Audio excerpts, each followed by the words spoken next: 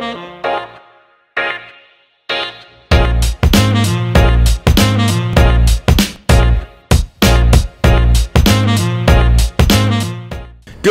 Good morning, Northern Cambria. This school year's first edition of the Emanon has been published. Check out the link shared to your email. We have articles and pages focused on NC sports, world news, surveys, and opinions. Be sure to share photos of your pets for our Pets of NC page. Check out Hunter Sports Center page for the most up-to-date fantasy football projections, and check out our interactive experience, Mystery Mondays. Starting on Monday, October 3rd, check out the, check the office window for the first clue of October to solve the crime of the candy corn culprit. New clues will be released on the Emanon every Monday during the month. Be sure to follow along to find this month's culprit and win a prize. For any senior interested in attending this year's trip to Tennessee, the first fundraiser is underway. We will be selling Krispy Kreme donuts. Please see Miss Norman or Miss Lombardo for an order form if you have not received one as of yet.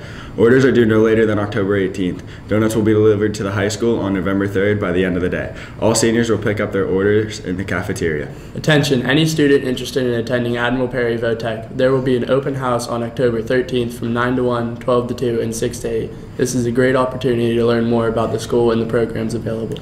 Any student interested in going on the Academic Adventures Club to Disney in February, please see Miss Toy in room 308. This trip is open to any student in the high school. This trip includes two full days at Disney Park. Little Caesars Prom fundraiser is happening now through October 3rd. Items will be delivered Wednesday, October 26th. Order, firm, order forms and money are due no later than October 3rd.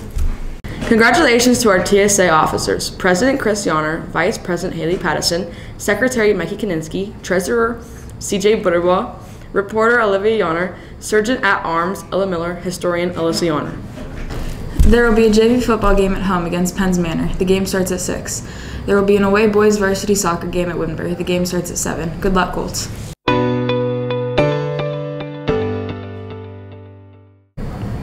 Today is National Homemade Cookie Day. If you are looking for an excuse to bake some homemade cookies, look no further. Package them up and share them with neighbors, coworkers, and friends. Today marks the two weeks since death of Mahsa Amini. Since the death of the 22-year-old on September 16th, protests have roiled the country. Olivia McCracken is a member of Volleyball Cheerleading Student Council. During her free time, she enjoys hanging out with her family, listening to music, and going to Sheets. Her future plans are to attend Mount Aloysius and become an esthetician and cosmetic nurse practitioner.